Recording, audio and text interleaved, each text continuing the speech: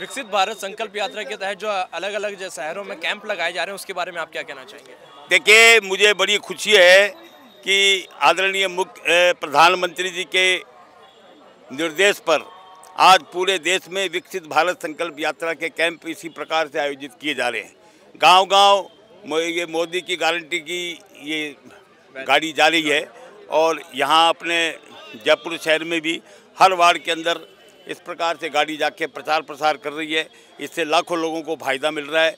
जो मोदी जी की फ्लैगशिप योजनाएँ हैं, उनके बारे में जनता को जानकारी मिल रही है और उसके आधार पे वो अपने हक के लिए और जो उनका हक है, वो अपना प्राप्त कर रहे हैं।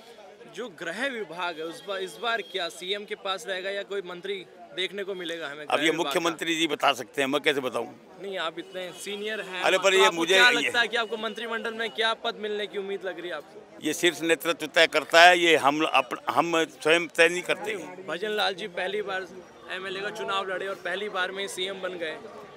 हाँ तो ये उनकी योग्यता को देख के और शीर्ष नेतृत्व ने ये सोचा होगा कि इनको बनाया जाए इसलिए बना दिया। और जो नगर निगम की रिगार्डिंग समस्याएँ सफ़ाई को लेकर जो समस्याएँ चलती हैं वो अब कैसे? हमारे साले पार्षद बहुत उत्साहित हैं सरकार परिवर्तित होने के बाद और सब जो हमारे पार्षद हैं और जो हारे हुए पार्षद हैं वो सब अपने अपने क्षेत्र में मुस्तैदी के साथ काम कर रहे हैं। और आपने देखा होगा कि पिछले सात दिन में और नगर निगम की जो सफ़ाई व्यवस्था है उसमें बहुत सुधार हुआ है। इस बार क्या नंबर जैसे स्वच्छता में संरक्षण में क्या रहता रहेगा इस बार जयपुर का? बिल्कुल नंबर वन पे आएँगे यही प्रयास है हमारा। धन्यवाद। शहरी अभियान के तहत जो कैंप लगाए जा रहे हैं उनके बारे में आप क्या कहना चाहेंगे?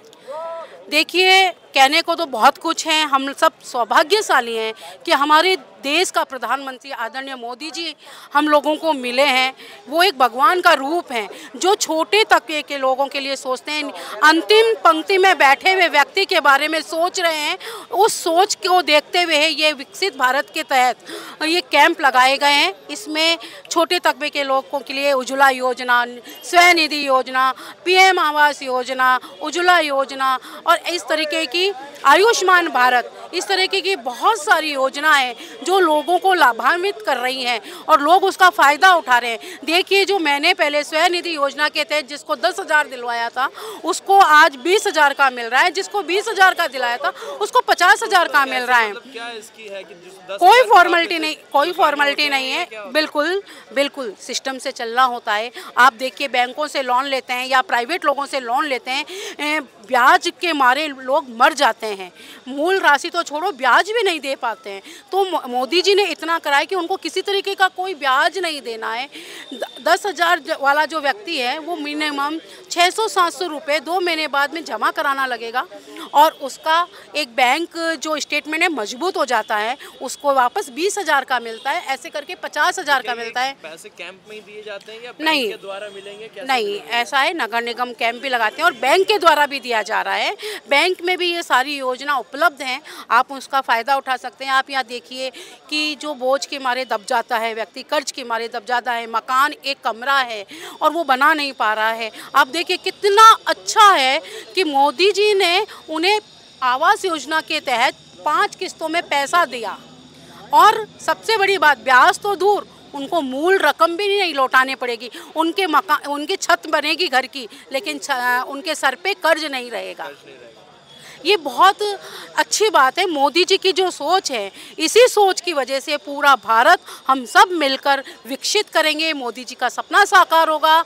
आप देखिए, उज्ज्वला योजना के तहत साढ़े चार सौ में गैस सिलेंडर का वादा करा था चुनाव में और कल घोषणा कर दी चार सौ, साढ़े चार सौ योजना, साढ़े चार सौ रुपये में गैस सिलेंडर उपलब्ध का। मैं आपके माध्यम से हमारे राजस्थान के यशस्वी प्रधानमंत्री भजन लाल जी का भी धन्यवाद करूँगी और हमारे देश के प्रधानमंत्री आदरणीय मोदी जी का भी धन्यवाद करूँगी कि आपकी सोच से निश्चित रूप से भारत विकसित होगा और प्रत्येक अंतिम पंक्ति के व्यक्ति को लाभ मिलेगा और सक्षम होएगा। आपका बहुत बहुत आभार।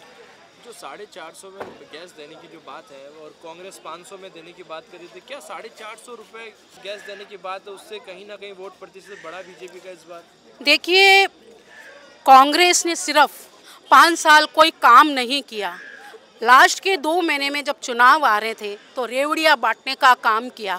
तो राजस्थान की जनता समझदार है कि जिस सरकार ने पाँच साल कोई काम नहीं किया और वो दो महीने में रेवड़िया बांट रही है और राजस्थान का खजाना खाली कर दिया, जनता का पैसा जनता को दे के और राजस्थान का खजाना खाली कर दिया। लूट मार की नीति अपनाई, उन्होंने ना तो राजस्थान की बहन बेटियों को सुरक्षा दी, ना किसी चीज़ का फ़ायदा दिया और ये मोदी जी के ऊपर विश्वास है। गहलोत सरकार पे ऊपर विश्वास नहीं था। कि आप खजाना खाली करने की बात कर रहे हैं तो अब जो भजन लाल जी जो सीएम बने हैं तो ये आने वाले पाँच साल तक कैसे कार्य कर पाएँगे? हमारे देश के प्रधानमंत्री आदरणीय मोदी जी हैं। केंद्र सरकार हमारा सहयोग करेगी और हमारे राजस्थान के मुख्यमंत्री जी हमारे राजस्थान की जनता को लाभान्वित करवाएगी।